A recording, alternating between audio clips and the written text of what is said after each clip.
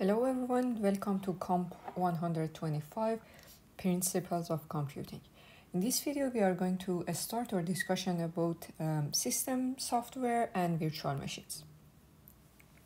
So in chapter 4 and 5, we have learned that how a physical computer can be um, actually created and we have seen a computer designed based on the von Neumann architecture. Uh, this program, uh, this computer is, um, that was actually a physical machine that uh, um, can execute the programs that we have written in chapter 2, those algorithms that we have written in chapter 2, we can create a physical machine that can execute those programs. But that machine, um, you know, uh, we call it actually a naked machine because uh, if you are going to execute any program, any algorithm on that machine, um, the user, um, anyone who is working with that machine needs to uh, write down the program in binary, um, load that program in the memory.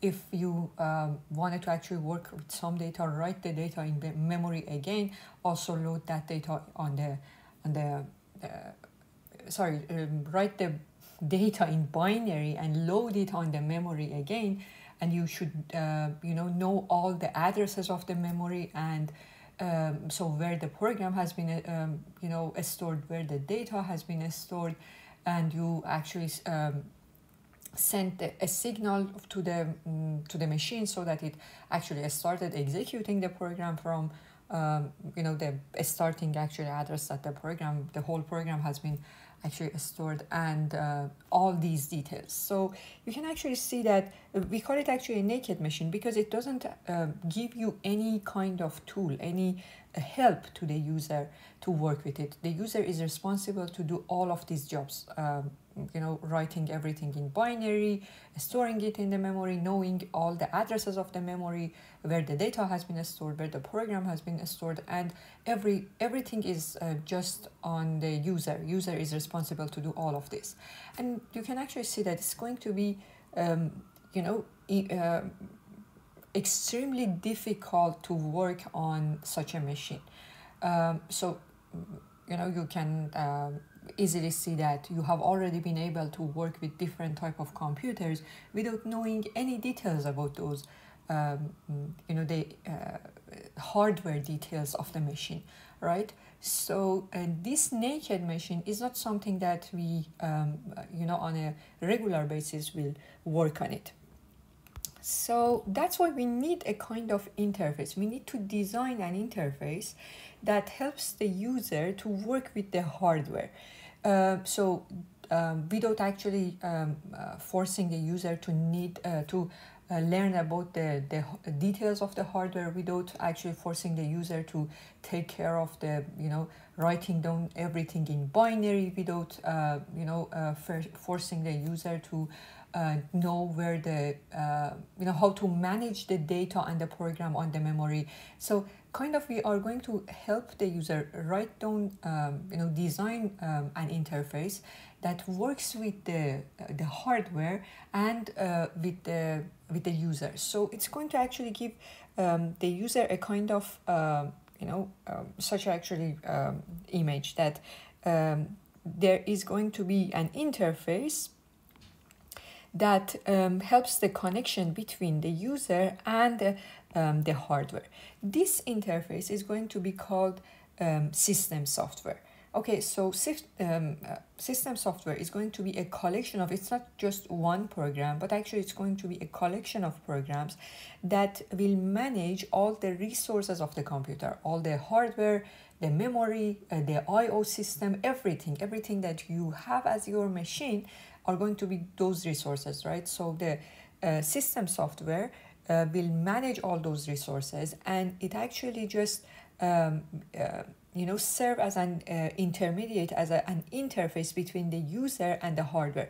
So software system is going to have two uh, different interfaces. One interface is between the user and this um, system software. So the user will actually just send out everything and every command uh, that needs to be done. The user uh, will send it to the uh, system software and this then system software will actually send all those uh, commands operations to the hardware and will take care of uh, converting the commands to the binary format will take care of managing the data um, and the program uh, on the memory will uh, take care of um, you know uh, managing different IO systems uh, will take care of um, initiating the program, executing the program, showing the result to the user. So the software system is um, kind of creating a virtual machine, a virtual environment around all those resources. So this is actually showing in this picture as this way that there will be a virtual you know the user will work on a uh, on a virtual machine instead of working on the hardware on the naked machine um, the user will work with this virtual machine, this virtual environment that the system software has been um, actually has created. Okay, so as I mentioned, um, system software is not just one program. It is going to be a collection of different programs. The main one is going to be called operating system. So operating system is the single most important piece of this um, system software, uh, which is responsible to um, you know control over all other programs, um, all other actually pieces of um, system software. It is responsible to communicate with the user. It has uh, actually you know the, the operating system is the one with uh, which managing all of the other pieces of the um, system software. So um, if I wanted to actually just um, you know give you the idea that what does the operating system do, this picture is going to um, you know explain it very well. Operating system is just like a central program that um, actually makes the connection between all different resources that you have. Operating system is going to have a couple of different programs, different um, you know uh, softwares that works with um, all different I/O systems, working with, the, for example, printer, with mouse, with keyboard, with monitor, um, different uh, kind of applications that you um, install over um, your computer. So um, this uh, picture here will actually you see that the operating system is going to work with the, the hardware, with the physical part, and it is going to actually have um, different uh, programs installed over it that we call them system softwares. These are the main, um, you know, uh, when you are actually installing any operating system on your machine. So, for example, if you're installing Windows on your uh, machine, Windows is when you install it, it comes with a, um, you know, if you haven't installed any other application, it will um, have a set of softwares. Those softwares are going to be called system softwares that, uh, for example, they are responsible to uh, work with the monitor, with uh, work with the, uh, for example, if you um, use um, a data in a USB, um, you know, um, memory stick, you insert it, uh, you actually just, um, you know, plug it into your computer and you be, will be able to see those any information that you has a stored on that right? There will be some um, some uh, software that works um, you know that makes you able to see the data on your memory stick. So every different piece of the uh, hardware um, that you have uh, you, you have and you are going to actually work with it all of them are going to have different um, um, you know um, different software systems that working with them. So makes you able to work with them. So except those system softwares that um, will actually come with the operating system you as the user will be um, you know will be able to install other actually kind of application over the um, operating system over your computer. So those are going to be those application softwares that um, whatever you need. For example you uh, wanted to install um, you know um, different uh, browsers. You wanted to install different um, um, games. All of them are going to be application softwares that the user will um, actually install. Okay so if um, you know this chapter is going to uh, focus on operating system And the first, I mean, the, the second section is just actually explaining um, these different pieces of, um, you know, uh, software systems that the operating system will work with it. Operating system has been actually, um, uh, you know, as I mentioned, operating system is going to be that single most important piece of software that works with all other pieces of um, system softwares. So operating system is going to, mm, you know, all operating systems are going to actually have different pieces of um, uh, software systems. Um, the user interface, um, there are going to be some programs that works with the memory. There are some uh, programs uh, that works with the uh, I/O. There are some programs that works with um, actually um, allows you to write down different programs that we call them actually language services. There will be some um, different uh, softwares that works with um, uh, you know a data um, a storage like for example if you store the data on the disk or something they are going to be called information manager and there will be actually some scheduler so every operating system is going to have all of these different pieces.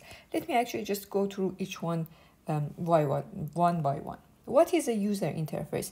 So you can see that in the modern computers you are able to uh, actually see um, um, your um, you know working with your computer over a monitor right? You can see different um, you know windows you can see different um, you know working with a, um, you know with a mouse clicking on something dragging something to something else. All of these are going to be a part of the user interface. So this is a graphical um, we call it actually GUI, this graphical user interface will um, provide a, a graphical control and makes it much easier for you as a user. You know, just think about it in this way. Is it going to be easier to write down your command or just, you know, um, be able to work with a mouse and um, the keyboard and just, you know, move different things and click on different actually uh, parts of the page and work with that. This is going to be the user interface. So the other part is going to be um, called language services. So um, language services are, um, you know, is going to be a collection of um, a collection of uh, again softwares um, it's going to be including assembler, compiler, and interpreter. So what does this um, set of um, softwares um, doing for you? So for example, you are going to write down your own program that uh, does a specific thing. So you are going to use a Java to write down your program or Python to write down your program or C++, whatever high level programming languages that you choose. Because those algorithms that we have written in chapter two, right, we wrote the algorithm in um, a pseudocode, right? At the end, if you are going to execute it on the computer, you will need to translate it to some programming language. For example, you will write it in Python, you will write it in Java, in C++, any high level programming language. So all these language services, assembler, compiler, interpreters, they are going to help you, help the user. They allow the user to be able to write down the, their own program. Then um, the interpreter or the compiler will combo, uh, you know, will translate the program into a language which is going to be called assembly language.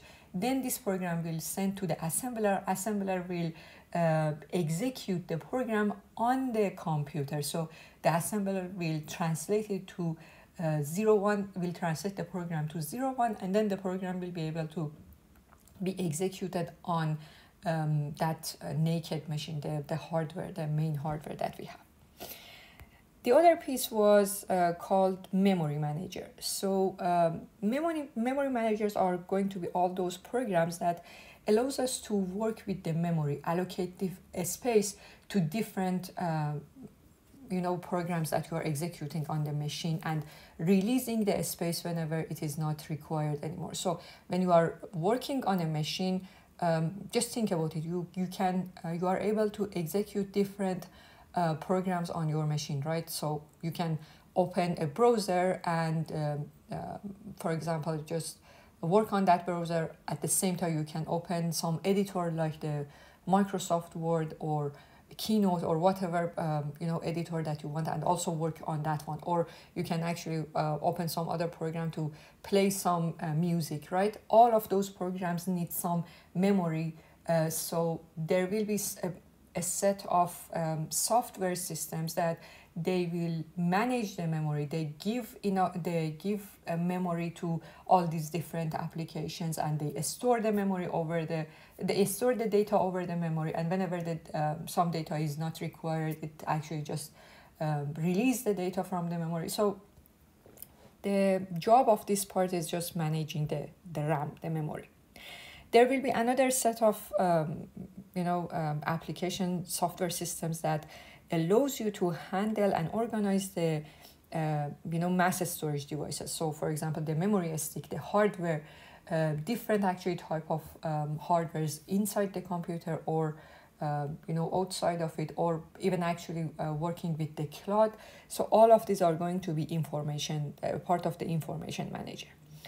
Um, we also need a set of um, system um, so, I'm sorry software systems that allows um, us to work with different IO systems. So for example you are working with the uh, scanner you are working with a, a speaker a printer um, all these different um, with a microphone all these different um, um, you know input output devices needs to be uh, you know managed. So they will be a part of the IO system um, also, one of the most important part of the software system is a scheduler. What is a scheduler? A scheduler will um, actually allows you to execute different programs at the same time on the computer. So just think about it in this way. You have one CPU uh, on your machine, but you will uh, you are able to uh, you know execute different programs on your computer. Uh, play um, music, just write down your code um, have an editor, um, have a browser on, uh, you know, uh, open on your computer. All these different programs needs to be executed on the CPU, right? So a scheduler will, um, you know, um, uh, just works with these different programs and allows um, you to use just one CPU uh, to be able to execute all these different programs at the same time. So it will just um, schedule different programs to be executed on the CPU. And the last piece is um, called the utilities. Um, utilities is going to be a collection of libraries. Okay, this is going to be a different pieces of a small um, um, software system libraries that allows us to work with uh, you know simple applications. For example, a text editor, the Notepad, or different um, you know um, different applications that allows us to work with image or sound on the computer. All of them are going to be collected um, as a program libraries. So in fact software system is going to be the um, you know the collection of all of these uh, different actually uh, pieces of softwares in this chapter, we are not able to actually cover all of them one by one. I just wanted to know that um, when you are, we are talking about a, a you know, a, software system and the operating system as actually as the main manager, um, it is working with all of, all of these different actually pieces. Um, but in this chapter, first we will focus on um, I mean, in this next section, which is going to be the section 6.3, we will focus on language services and the assembler, how we will be able to write down a program in high-level programming language, and then it will actually just um, be uh, translated to some assembly language that then that assembly language will be uh, will be uh, sent to an assembler and how the assembler will work with the hardware and execute the program. And the last section will be about the, the operating system. So um, this is just not in your textbook and it's not, you know, learning about all of these different actually pieces. It's going to take probably one course. So here we are going to just learn about the overview that just know that um, all of these different pieces needs to be um, get together so at the end you will have uh, a full computer with a user-friendly interface, in fact. Okay, so before we uh, move on to the next section, I just wanted to, um, you know, uh, recall that uh, the same actually issue that we had at the beginning of this um, chapter, we mentioned that question. If we are going to work on a naked machine, the user needs to write down the program in binary, then load this program, all of this set of uh, instructions um, on them into the memory. Um, also, it actually needs to load the data somewhere else in the memory, manage the different addresses in the memory, knows that where the program has been stored. So, for example, in your textbook, it, it's been just simplified in this way that, okay, store the program starting from the address zero, then tell the, we actually needs to start um, uh, a kind of you know uh, a go button that so that okay so you send a signal to the hardware and say that okay start executing from the um, address uh, zero and then uh, get the result from the memory. The, the final result will be written in the memory again right? Get the result from the memory and then show it show the results uh, convert them from the binary to the uh, to the human readable uh, you know output and uh, you know at the end just get the result out of it. So this this is the way that we, if we are going with a naked machine we have to actually do all these steps. But we will see that if we are able to um, if we have access to a virtual machine um, you know a computer with an operating system and a, a full set of um, you know a software um, I mean, system software that allows you to gives you this um, virtual environment, then how we actually execute a program, it will be completely different because we have access to this virtual machine. So in this way, we will be able to write down our program in a in an editor. So for example, you write your program in some high level programming language like uh, Python or uh, Java or whatever programming languages you choose. So you will write down your program in a text editor um, in one of those languages. That language, then you actually store it in the computer. So for example, you will find some directory, you will create some directory somewhere on your computer and store this file inside your computer on some specific address. Then there will be some um, you know um, some language translator so for example some compiler or interpreter for if you are writing in python for example you need a, an interpreter for the python. If you are writing in java or c++ you will need um, a compiler. All of them are going to be called some kind of translator.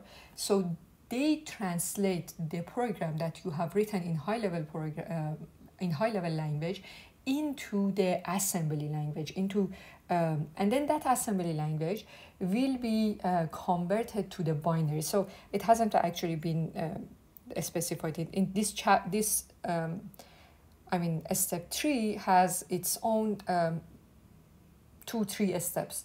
So it will be actually the high level programming language converted to assembly language then assembly will be converted to the binary language that binary language is exactly that program, that zero ones that will be written uh, and executed on the hardware.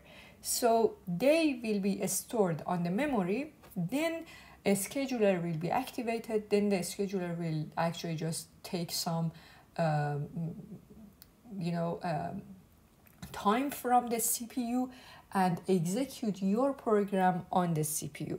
And then the I.O. system is responsible to get the result from the, uh, again, read it, the final result that has been written on the memory. The I.O. system will read that result in binary and then show it to you as the, um, you know, to the user in a human readable uh, format. So now you can see that it's going to, you know, working in this virtual machine is going to be much easier if you were uh, you know compare um, you know compare it with the case that you are working with the naked machine.